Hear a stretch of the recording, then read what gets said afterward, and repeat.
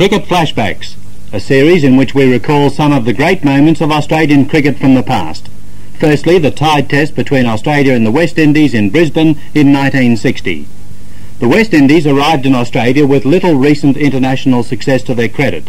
They'd failed to win a test against England at home in the Caribbean earlier in the year, and with two defeats and only one win in their six first-class matches leading up to the first test, they'd given no real indication of things to come. The West Indies batted first and were soon in trouble. Alan Davidson claimed three early wickets, and with the West Indies at 3 for 65, Australia looked to be away to a good start. But then the true worth of their opponents became apparent. Frank Worrell joined Gary Sobers, and after seeing Davidson and Meckiff out of the attack, they set about destroying the Australian advantage, with Richie Benaud, the logical bogeyman, suffering heavy punishment.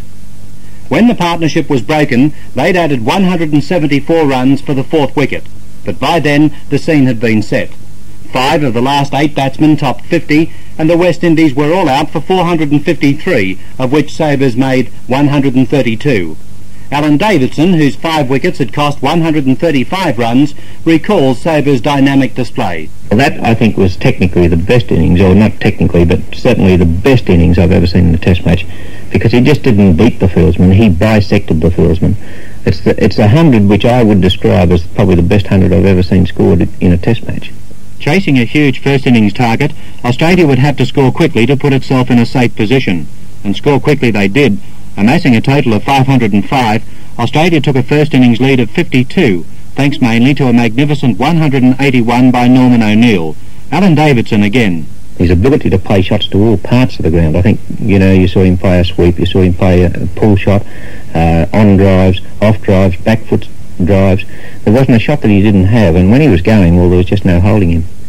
In their second innings, the West Indies again found Davidson their main worry, and the Australian left-hander finished with 6 for 87, giving him 11 wickets for the match. I must admit that a couple of things came off in that second innings. Mm-hmm. Uh, the Yorker that bowled Sobers, uh, the Yorker the bowled Hogg at the finish.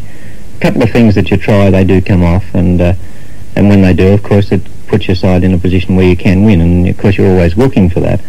And uh, I must admit that it, they did hold us up for that half hour on the last day. We thought we were in a very good position, actually. The West Indies totalled 284, leaving Australia with 233 to win in just over five hours. These were to be among the most dramatic and exciting five hours of Test cricket ever played. Australia soon succumbed to the pace of Wes Hall and was 6 for 92 when Benno joined Davidson and the game apparently in the West Indies grip. They held on until tea, at which point Australia still needed 128 runs in the last two hours with only four wickets standing. Alan Davidson tells us what determined Australia's approach. Well, I think the fact that uh, when we went back after tea, we still wanted, I think, 128 in about 120 minutes. And as we walked out, Richie and myself never said a word, as a matter of fact, we were pretty silent. But when we got out there, he just turned and he says, well, let's give it a go. And I said, okay. Mm. And I believe that that was what made the series. Uh, a lot has been said about how the West Indies made the series. But I believe that in that last two hours, it would have been so easy for us to have just played for a draw. Mm. And yet, with six wickets down, Richie said, let's give it a go. In what rates as one of the finest ever late-order partnerships, Benaud and Davidson stayed together until the score had reached 226, only seven runs short of victory. Their partnership for the seventh wicket had realised 134 runs.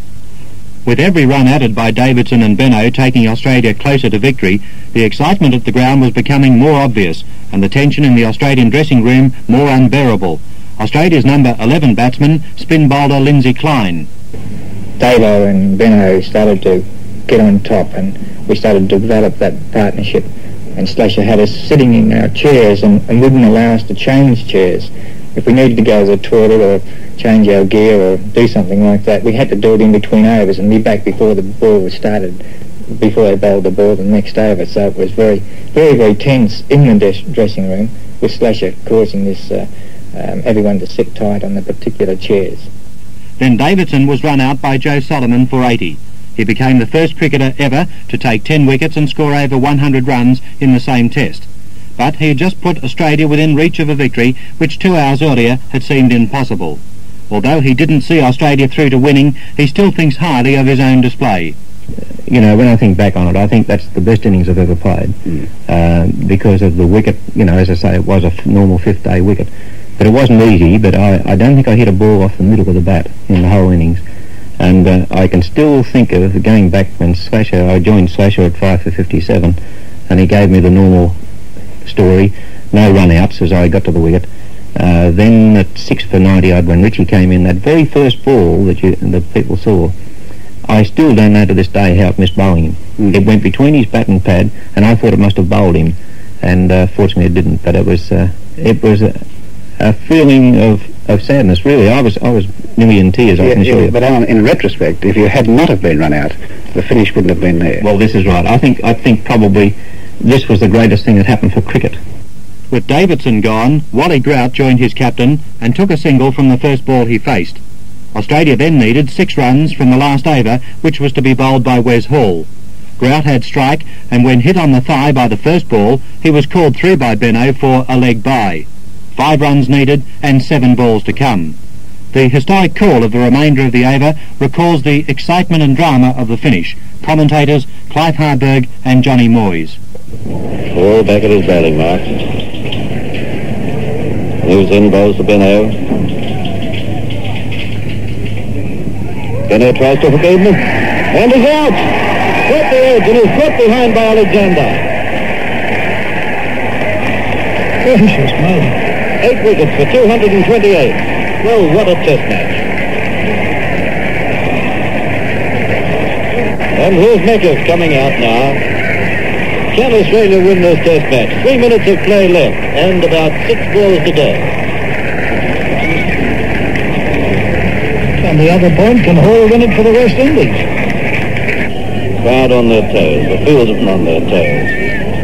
The most unconcerned person on the Brisbane cricket ground, Wesley Hall, as he tosses the ball idly from hand to hand. Moves in, bowls to Meckers. Forward to it, drives it, ball across, gets a hand to it, takes the sting out of it, and the ball runs down to mid-off, fielded by Valentine. Hall now to it. Moves in. On his leg stump. Tries to sweep it, and here's a stolen single, and he might be run out, and misses it. the ball past the wickets. Grout was down the wicket like a shot. Called Meckers. Meckers a little late starting off. Hall ran up, gathered the ball, had a shot at the stumps.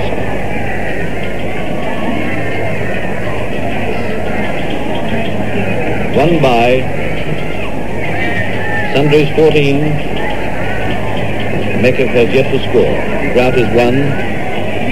Eight for 229. Ball to Grout. Grout skies him. Three of them, four of them getting under it. Ken High catches it and it's not. It's not. Hall and Kanhai run in for it. Four of them converged on the ball. Hall dropped it. Hall eventually got his hands to it, but Ken came in and I'm sure he balked Hall in his efforts to catch that one. Australia requiring three runs to win. And three balls to go.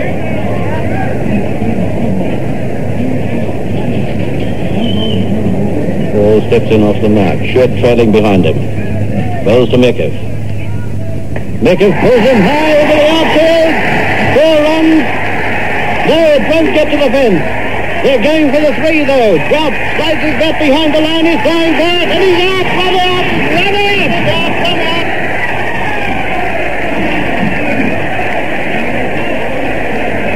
Two runs only. Australia still requiring one run to win. Australia, 9 for 232 as Lindsay Kline comes out.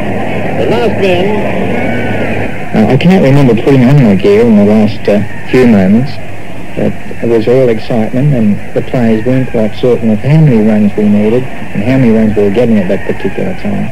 But uh, when Wally was run out, they said, well, you're in, and, and away I went. And I think I got to the centre, and I can't remember walking out there. Frank Worrell did say to me as I passed him at the wicket, he said, gee, Lindsay, you look a little pale. And uh, I said, Frank, certainly, I certainly feel it at the moment. And uh, facing up the Wes Hall that particular time, I think he walked back another 25 to 30 yards, and I felt as if he pushed off from the fence. And I can remember him running and I can say, remember saying to myself, when is he going to get here? It felt like half an hour, you know, running in. It was just so much time, and so many things went through my mind at that particular time. But Ian Meckiff and I had a, agreed to run on that particular ball. No matter where it went, we were going to run. Last man for Australia, two balls to go in this first set. Back at his bowling mark. He will bowl decline.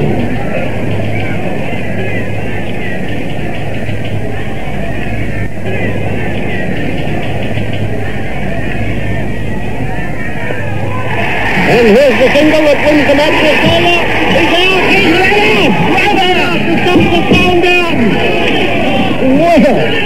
so Australia all out for 232, resulting in the only tie in Test cricket history. As one can imagine, the closeness of the scores caused considerable confusion. Even the players themselves were immersed in the excitement of the event. With um, Ian Meckiff was running for a draw. He thought we were run, one run behind. I thought we were tied and I was running for a win. So as it turned out, we didn't know until after the game who was correct. And here's the single that wins the match for Australia. He's out, he's out! Right out! The subs are down!